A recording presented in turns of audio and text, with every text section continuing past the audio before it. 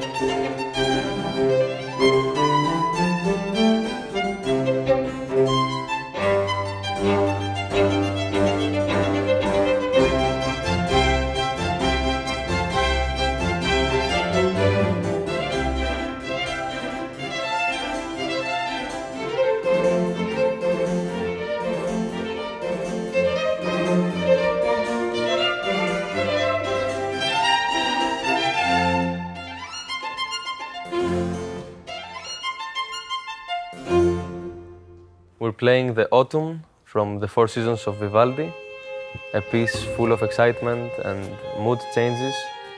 I'm really happy to be back in Innsbruck and to have the opportunity to play with like-minded people, have the energy and the desire to make music.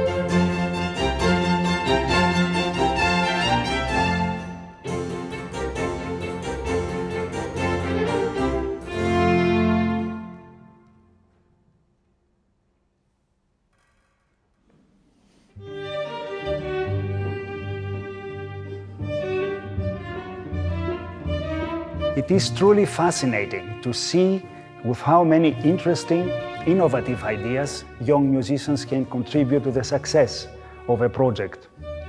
We started Strings in Motion in 2010, so we celebrate this year our 10th anniversary. And it is our heart's desire, especially now in these very challenging times, to work on our goals full of inspiration, with commitment and team spirit but at the same time to enjoy sharing our artistic and pedagogical experiences with others.